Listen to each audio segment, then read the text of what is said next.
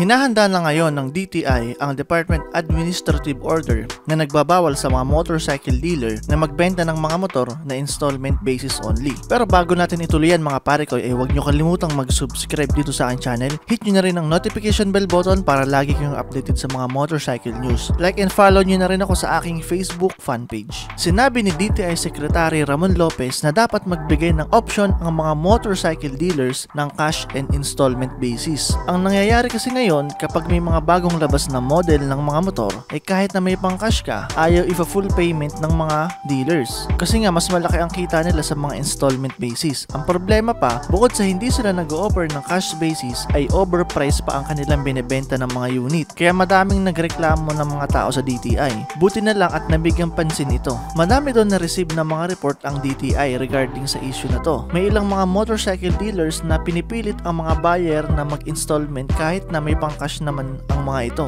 Ang iba naman ay di talaga nag-o-offer ng cash basis. Kaya nag-issue ang DTI ng department order para matuldukan ang mga gintong kalakaran sa mga motorcycle dealer. Sa kasalukuyan nga ay meron daw humigit kumulang 3,060 na reklamo na ang dumating sa kanila laban sa mga motorcycle dealer. Kabilang na dito ang hindi agad nabibigay ang Certificate of Registration o RCR, mga defective units. At yung iba naman ay di agad nabibigay yung Certificate of Full Payment. Kasama na nga dito ang di nila pag-o-offer ng cash basis kahit may kakayahan naman ng buyer na bilhin ng motor for cash basis. Sa ngayon, e 287 na mga reklamo ang naresolba na nila. May mga reklamo pa nga na dumating sa DTI regarding sa plate number. Pero i-endorse daw nila ito sa LTO kasi hindi na doon nila ito sakop. Ang gusto pa nga mangyari ni Senator Richard Gordon ay dapat maibigay na sa mga motorcycle buyer ang plaka at original ORCR ng motor kahit na installment basis lang. Kaya mga pare ko, anong reaksyon nyo sa mga motorcycle dealer dyan sa inyo? At sang-ayon ba kayo sa naging hakbang ng DTI? Pag-usapan natin yan sa comment section below.